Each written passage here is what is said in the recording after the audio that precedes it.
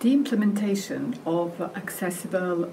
ICT policies and strategies is key in ensuring that persons with disabilities have access to ICT products and services that are naturally accessible, that are uh, compatible, that, uh, that can be used by them. So, uh, another very important thing to say in relation to this is that what do the countries uh, do in ensuring that? Um, inevitably, it is very important to have the engagement by all relevant stakeholders. And we talk about the governments, we talk about regulatory authorities, industry,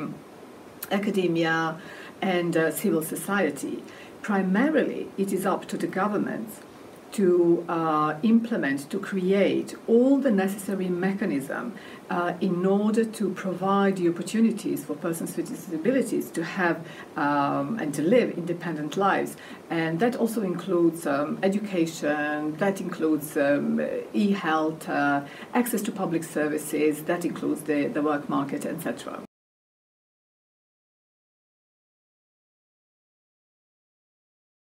Uh, the objectives for question 7 for the study period 2080-2021 have been identified very clearly by the members as well as agreed. So uh, what the members emphasized as um, key objectives is uh, basically the continuation of the capacity building that provides provided by the uh, ITU-D. Capacity building is crucial for the members to um, to get the necessary knowledge on how to not only create the ICT policies and strategies, but how to adapt, how to adjust the existing ICT policies and strategies that are uh, that that are implemented in some other countries or that are provided by the ITU-D into their national policies and strategies.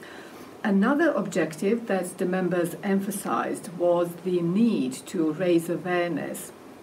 and promote ICT, um, not only policies and strategies, but also the relevant business models. And uh, when we talk about raising awareness and then promotion, uh, it is also um, important to bear in mind that simultaneously it is crucial to strengthen persons with disabilities uh, in order to know what is available to them and how to use those services and products that are available to them. Uh, then uh, we should also mention the, one of the key objectives, as one of the key objectives is the, is the constant in, um, empowerment of the members to exchange uh, their good practices, to share the knowledge through the regional platforms, through the national platforms in uh, um, in organizing all sorts of events, uh, and uh, to, to serve to have that served as a base for creation of their own uh, national policies and strategies to uh, make sure that the implementation of ICT policies and strategies is going to be uh, implemented at the um, in the best possible way.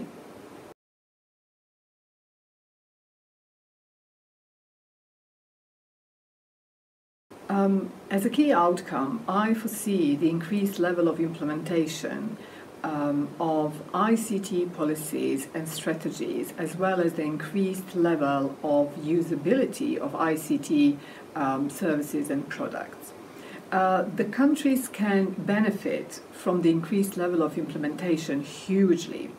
Uh, the problem in most of the developing countries is the extreme low level of the um, accessible ICT services and products, in spite of the fact that the legal and, uh, let's say, regula- regulatory framework are well in place. But it is evident that the level of implementation currently is very low. So we should all aim at the uh, achieving this key expected outcome